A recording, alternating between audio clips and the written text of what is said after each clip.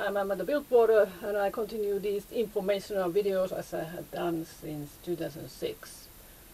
Today, of, of course, I listen Meet the Press and uh, what David says, he doesn't like to I comment in during his hours, but I comment in anyway and I hope with my flower I really want this issue will be handled with me also.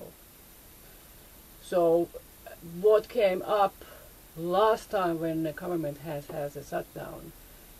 January 21st, 1996. Guess what, where I have been there? In a DTK. Working in a, as a computer assembler technician in Norcross, Georgia. Living with my wedded husband, Paavo Sippu. What I uh, been together in that point about seven years. Living together in a Canton home and uh, in uh, January because I started in uh, December it was like a good start but uh, there was all signs about what kind of battle was done behind my back because there was that healthcare problem.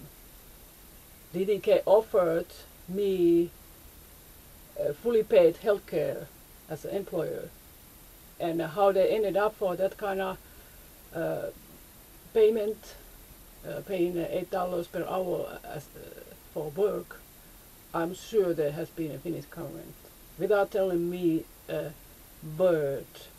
Why they doing this kind of things behind my back, talking with my employer, but not with me.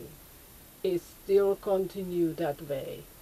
Now when I'm working in the airport, I could not imagine what they're doing behind and I hope somebody stands up for me that much. They understand this kind of thing cannot continue. Some people always talking about my issues without I ever be a part of it. It has ruined my life. It has ruined many people, many other people's life.